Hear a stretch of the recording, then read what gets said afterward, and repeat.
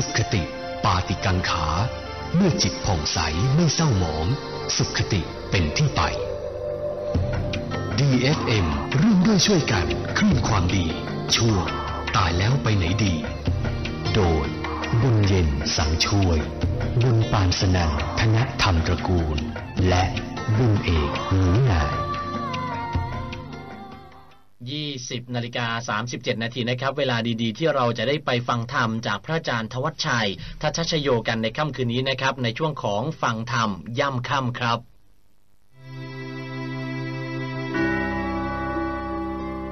ร่วมสั่งสมเสบียงบุญด้วยการฟังธรรมย่ำค่ำธรรมบรรยาย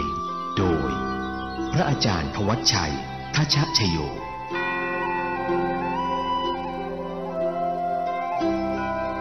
ใหญ่บุญชัยพร้อมทั้งพวกเราทั้งสามบุญนะครับ พร้อมใจการกราบนมัสการพระอาจารย์ด้วยความเคารพกราบนมัสการครับ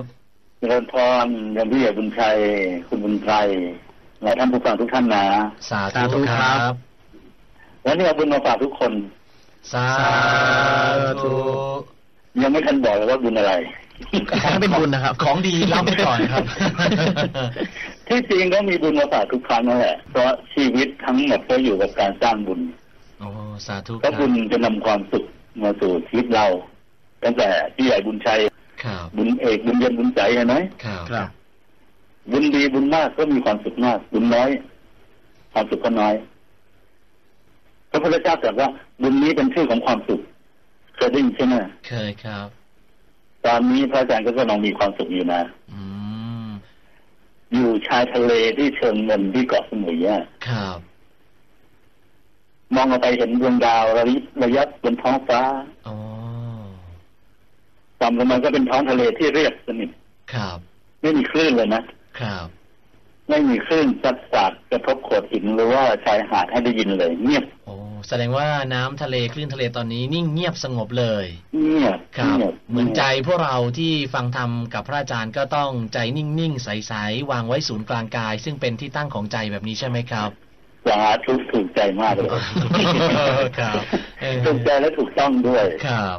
มันเหมือนภาวะของใจเราที่สงบนะทะเลเรียบๆเนี่ย ไม่มีเรื่องราวต่างๆ มารบกวนให้ใจกระชอกหรือขุ่นมัว หรือถึงกับบ้าคลั่งเหมือนตอนทะเลบ้าอืมที่เต็มไปด้วยระลอกคลื่นที่ถาโถมกระแทกเข้าหาฝั่ง อย่างนั้นเหมือนใจคนที่กำลังโมโหโกรธาโกรธเกลี้ยวครับ แม้ท้องทะเลจะอยู่ในความมืด แต่ว่ามีแสงสว่างระยิบระยับเป็นจุดๆมองออกไปข้างหน้าเนี่ย เป็นเรือหาปลาที่อยู่ไกลออกไป ครับ เพื่อนมนุษย์เราส่วนหนึ่งกำลังหาเลี้ยงชีวิต โดยเอาชีวิต ซึ่งเป็นของที่รักที่สุดของเพื่อนร่วมโลกมาต่ออายุของตัวเองโดยไม่รู้ว่าอะไรจะเกิดขึ้นตามมากับชีวิตของตัวเอง จากการกระทำอย่างนั้นนะชายฝั่งทะเลใกล้เข้ามานี่นะ ก็มีแสงไฟกระพริบระยิบระยับมองดูไม่ค่อยสบายตาเท่าไหร่อะ มีเสียงดนตรีจากเครื่องเสียงและนักท่องเที่ยว ที่ร้องกันเองฟังแล้วคาดเดาได้ว่า คงเป็นไปด้วยฤทธิ์ของความเมาอืมครับเขาหาความสุขกันนะเขาคิดว่ากำลังมีความสุข อีกไม่กี่ชั่วโมงก็คงรู้ว่าสุขหรือไม่สุขครับก็จะรู้กันแน่ๆว่า ที่ทำนี่ไม่ใช่วิธีการหาความสุข มันเป็นการทำตามๆกันมาโดยคิดว่าจะให้ความสุข แต่พวกเราต้องทำย้ำคำรู้กันแล้วใช่ไหมว่า มันไม่ใช่ความสุข ใช่ครับ ความสุขอยู่ที่ไหน ความสุขอยู่ที่ใจอยู่ที่ศูนย์กลางกายของเราอยู่ในตัวเราครับเข้าถึงได้ยังไง โดยการหลับตาทำใจนิ่งๆครับเอ่อหลับหรือไม่หลับก็ไม่เป็นไรครับทำใจให้หยุดนิ่งที่กลางกายของเราครับ นี่ตั้งแต่เมื่อวานนี้แล้วนะที่พระอาจารย์มานำญาติโยมนั่งสมาธิสร้างบุญนำพาชีวิตให้พบความสุขกัน วันนี้อีกที่หนึ่งเมื่อวานที่หนึ่งตอนเช้าสวดมนต์นั่งสมาธิถวายสังฆทานภาคบ่ายฟังธรรมนั่งสมาธิปล่อยสัตว์ปล่อยปลากันครับเขาก็มีความสุขกันดีนะอืมดูหน้ายิ้มเรื่องผ่องใสทั้งเด็กทั้งผู้ใหญ่ทีเดียวยิ้มแย้มแจ่มใสครับที่เก็บเสียงหัวเราะที่เจือด้วยน้ำเมาสิ่งเสพติดหรือหัวเราะด้วยความตลกขบขัน รายการของเราจะสนทนากันเฉพาะเรื่องของความสุข ใช่ครับ มาทำความรู้จักกับความสุขกันให้ถ่องแท้ และวิธีทำให้ชีวิตมีความสุขด้วย เอ๊ะรู้สึกติดกันด้านอยู่นะ มีชื่อรายการใหม่ของเราหรือยังโอ้ ยังไม่มีท่านผู้ฟังกล้าส่งมาประกวดประชันเลยครับครับเหรอเออไม่มีกล้าส่งมาหรือว่าไม่มีคนฟังเนี่ยเนาะเราโอ้น่ามีสงมีสัยครับเนอะมีท่านที่ถามคำถามอะไรกันเข้ามา แล้วก็มีนะมีพระสงฆ์มีสามเณรฟังด้วยนะครับ พระอาจารย์เจริญพรครับ ถ้าท่านผู้ฟังไม่ส่งมาคุณไกลก็แนะนำเสนอครับได้ครับก็ชื่ออะไรดีที่มันเกี่ยวกับความสุขย่อมค่ำน้ำสุขอะไรอย่างเงี้ยนะอืม ของเก่าด้วยของใหม่ด้วยอะไรอย่างเงี้ยอ๋อนะเจอกันครึ่งทางอย่างนี้นะครับ อืมลองดูนะลองดูนั้นน่าจะชื่ออะไรครับย่ำค่ำคว่ำสุขเหมือไม่ดีไม่ดีไม่ได้ไม่คได้ว่ำทุกข์เออความทุกข์อะความทุกข์แต่เราจะไม่พูดเอ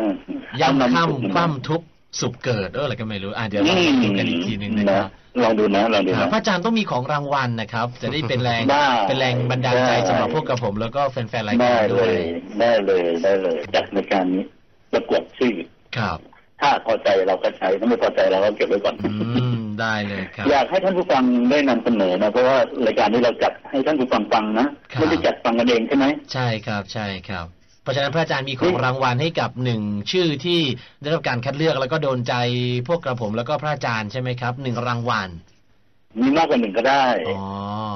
อืมนะมีมากกว่าหนึ่งก็ได้ครับ มีคำถามที่ส่งมาครั้งที่แล้ว เห็นช้าไปตอนจบรายการแล้วอะเลยตอบไม่ทัน อ๋อครับพระอาจารย์จะเมตตาตอบวันนี้ไหมครับ หรือว่าเดี๋ยวจากเจ็ดสามศูนย์สี่ห้าศูนย์ศูนย์ครับบอกว่าเลิกเท่ากับจังหวะบางเรื่องต้องรอจังหวะ หลายเรื่องรอไม่ได้ต้องปล่อยตามจังหวะเล่นตามจังหวะ เรื่องเลิกเชื่อหรือไม่เชื่อ ถ้าจะเชื่อเลิกนะให้ใช้เลิกพระพุทธเจ้า เรื่องนี้จะเป็นซีรีส์ต่อไปก็ได้ ถ้าท่านผู้ฟังสนใจ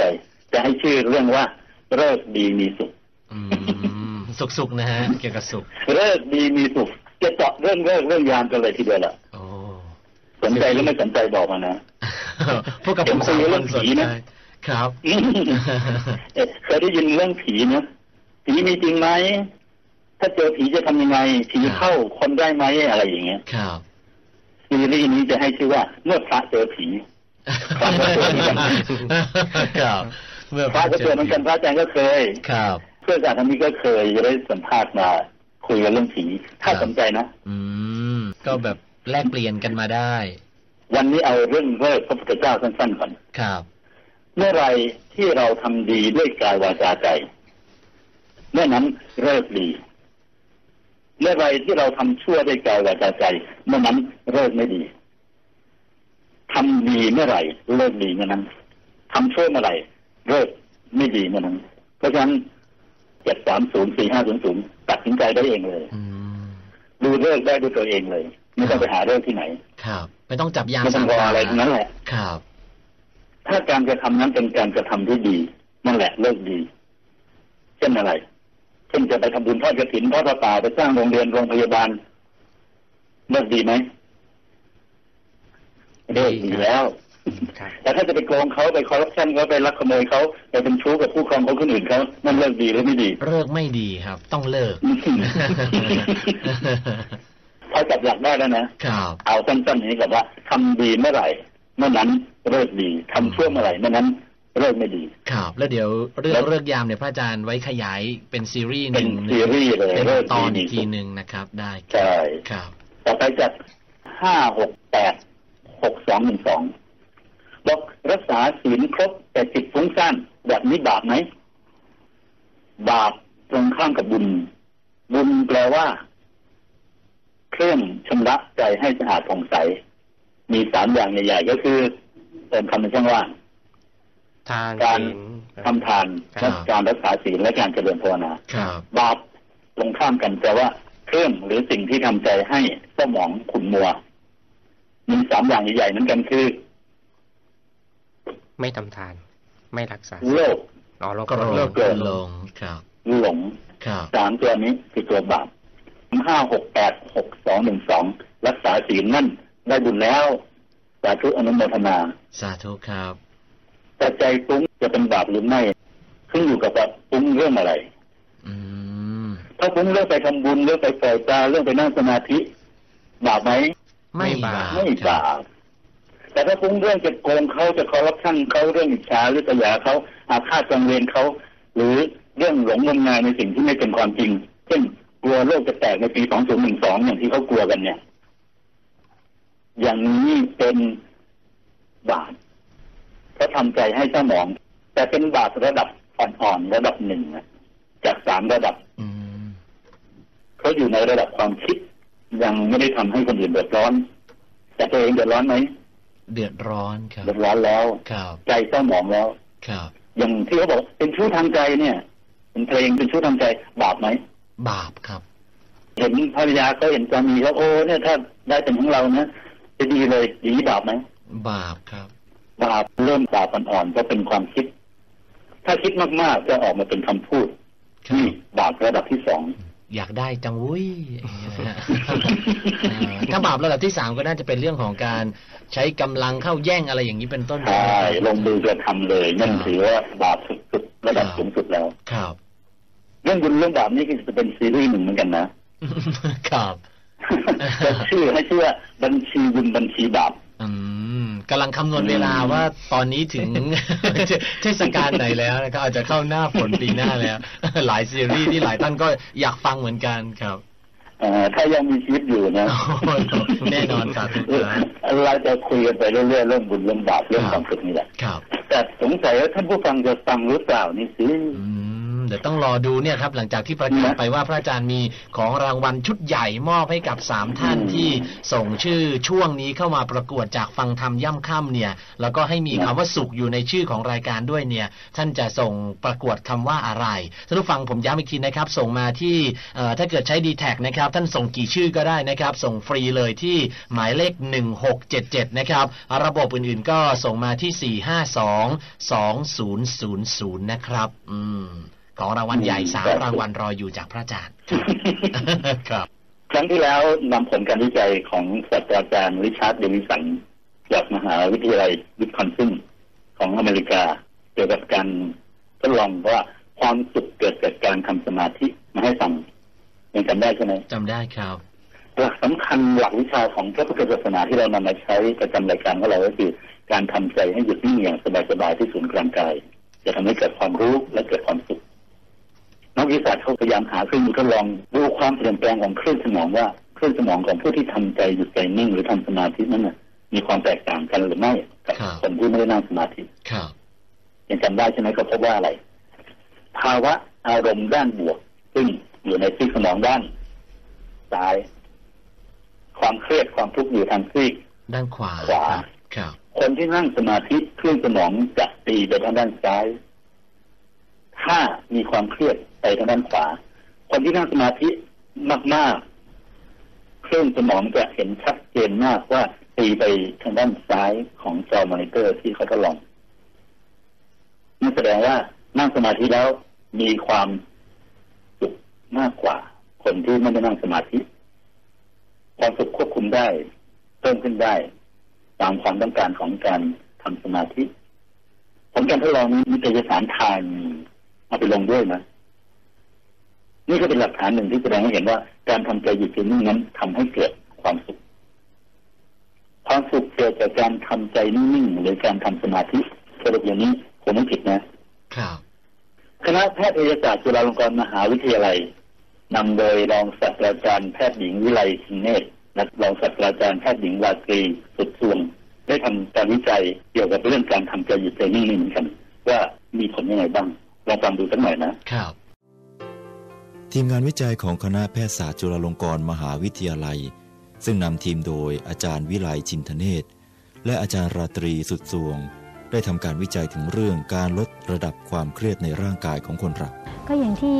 ใครๆก็พูดนะคะว่าสมาธินี่เป็นสิ่งที่ดีนะคะค่ะฝึกแล้วจะทำให้มีผลต่อร่างกายทำให้จิตใจสบายนะคะมีพลังเข้มแข็งนะคะ การทำงานการเล่าเรียนก็ดีขึ้นนะคะ ทีนี้เราก็อยากจะพิสูจน์นะคะพิสูจน์ในแง่ทางวิทยาศาสตร์การแพทย์นะคะว่าการฝึกสมาธิเนี่ยจะมีผลต่อการทำงานของระบบต่างๆ ของร่างกายอย่างไรนะคะ อย่างเช่นในระบบไหลเวียนโลหิต หรือการทำงานของหัวใจเนี่ยค่ะแล้วก็พวกระบบหายใจนะคะ แล้วก็ที่สำคัญอันหนึ่งก็คือระบบประสาทนะคะซึ่งมีความสำคัญเกี่ยวข้องกับเเรื่องออการทำงานการศึกษาเล่าเรียนนะคะ นี่อีกอันหนึ่งก็คือเออการฝึกสมาธิเนี่ยก็มีข้อมูลจากทางจิตวิทยานะคะที่บอกว่าทำให้ความเครียดเนี่ยลดลงค่ะซึ่งอันนี้เราก็คิดว่าเป็นเรื่องที่สำคัญนะคะถ้าคนเราไม่มีความเครียดเนี่ยหรือความเครียดเนี่ยไม่สูงเนี่ยก็จะทำให้อะไรๆดีขึ้นหลายๆอย่างนะคะทำให้เราเอ่อคิดที่จะทำงานวิจัยอันนี้ขึ้นมานะคะค่ะ ในร่างกายเราจะมีฮอร์โมนตัวหนึ่งที่สร้างมาจากต่อมหมวกไตนะคะมีชื่อว่าคอร์ติซอลนะคะเคยสฮอร์โมนตัวนี้เนี่ยถ้าบอกว่าใครที่มีความเครียดสูงเนี่ยระดับฮอร์โมนตัวนี้ในเลือดเนี่ยค่อนข้างจะสูง ถ้าความเครียดลดลงเนี่ยระดับฮอร์โมนตัวนี้ก็จะลดลงฉะนั้นเราในการทดลองในงานวิจัยชิ้นนี้ เราก็ได้วัดระดับฮอร์โมนตัวนี้ด้วยนะคะในช่วงที่ก่อนฝึกสมาธิกับช่วงที่หลังจากฝึกสมาธิแล้วนะคะเพื่อพิสูจน์ว่าความเครียดลดลงจริงหรือเปล่านะคะเราจะได้ทราบผลการวิจัยว่านั่งสมาธิแล้วมีความสุขจริงหรือไม่ครับเพราะเอาตัวอะไรเป็นตัวชี้ ตัวคอร์ติซอลฮอร์โมนตัวเนี้ยอืมเป็นตัวบอก ถ้าคอร์ติซอลลดลงแสดงว่ามีความสุขถ้าเพิ่มขึ้นแสดงว่ามีความทุกข์ครับเครียดความทุกข์ครับเรามาดูว่าเขาทำการทดลองยังไง ใช้วิธีการทดลองยังไงครับ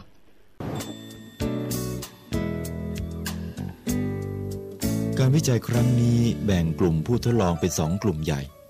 กลุ่มแรกคือกลุ่มควบคุมเป็นนิสิตแพทย์ของคณะแพทยศาสตร์จุฬาลงกรณ์มหาวิทยาลัย กลุ่มนี้จะไม่มีการฝึกสมาธิ กลุ่มที่สองกลุ่มทดลองเป็นนิสิตนักศึกษาที่เข้ารับการอบรมธรรมทายาทนวัดพระธรรมกาย กลุ่มนี้ฝึกสมาธิวันละสี่ชั่วโมง ติดต่อกันเป็นเวลาสองเดือน ส่วนวิธีการทดลองนั้นมีการตรวจวัดทั้งหมด 5 อย่างด้วยกัน อย่างแรกคือการตรวจระดับคอร์ติซอลในเลือด โดยการเจาะเลือด อย่างที่สองคือการตรวจวัดความดันเลือด โดยใช้เครื่องวัดความดัน อย่างที่สามคือการวัดชีพจรที่ข้อมือ3ครั้ง แล้วหาค่าเฉลี่ย อย่างที่สี่คือการวัดระบบการหายใจ โดยใช้เครื่องที่เรียกว่าออโตสไปรัลอย่างที่ 5 คือการวัดค่า reaction time โดยจะวัดระยะเวลาการตอบสนองเมื่อเห็นแสง การตรวจวัดใช้เวลาทั้งหมด 6 สัปดาห์ โดยจะตรวจวัด 3 สัปดาห์แรกครั้งหนึ่ง และสัปดาห์ที่ 6 อีกครั้งหนึ่ง ทั้งในกลุ่มทดลองและกลุ่มควบคุมทำกันหกสัปดาห์นะครับวัดอะไรบ้างจำได้ไหมหนึ่งวัดคอร์ติซอลในเลือดดูว่าเพิ่มหรือลดครับถ้าลดแสดงว่ามีความสุข ถ้าเพิ่มมีคสวาอมงเควัดรียความดดันเลือดความดันโลหิตครับสามวัดที่ประจรอัตราการเต้นของหัวใจสี่การหายใจห้าการตอบสนองว่าเร็วหรือช้าเดี๋ยวได้ทราบผลกันอยากทราบผ ลหรือยัง อยากครับลองดูนะว่าผลออกมาเป็นยังไงบ้างครับ ผลการวิจัยอันแรกเนี่ยนะคะ จะเป็นผลของการตรวจปริมาณของคอร์ติซอลในเลือด เส้นบนนี่เส้นสีเขียวนี่แสดงถึงพวกที่ไม่ฝึกสมาธิจะเห็นว่าระดับคอร์ติซอลเนี่ยไม่เปลี่ยนแปลงเลย ในกลุ่มทดลองเนี่ยเราจะแบ่งได้ออกเป็น 2 กลุ่มด้วยกันนะคะคือกลุ่มสีม่วงเนี่ยเป็นกลุ่มที่เขาฝึกสมาธิได้ถึง เรียกว่าระดับกลางถึงระดับสูง คือเขาสามารถที่จิตใจสงบทุกครั้งที่นั่งสมาธินะคะอ,อันนี้จะเห็นว่าระดับคอร์ติซอลเขาลดลดต่ำลงมากอย่างเห็นได้ชัดเลยนะคะส่วนสีแดงนี่จะเป็นผู้กลุ่มฝึกฝึกฝึกสมาธิที่ คือไม่สามารถที่กำหนดดวงแก้วได้ทุกครั้งที่นั่งสมาธิ กำหนดได้เป็นบางครั้งนะเรียกว่าระดับต่ำถึงขั้นปานกลาง ระดับคอร์ติซอลก็ลดลงอย่างมีนัยยะสำคัญทางสถิติ เช่นกัน แต่ว่าไม่มากเหมือนอย่างกลุ่มที่ฝึกสมาธิถึงขั้นสูง ส่วนสีน้ำเงินนี่เราเอาทั้งสองกลุ่มมารวมกันแล้วหาค่าเฉลี่ยค่ะ จากผลการวิจัยที่เราทำมาเนี่ยนะคะเราพบว่าระดับคอร์ติซอลเนี่ยมันลดลงนะคะ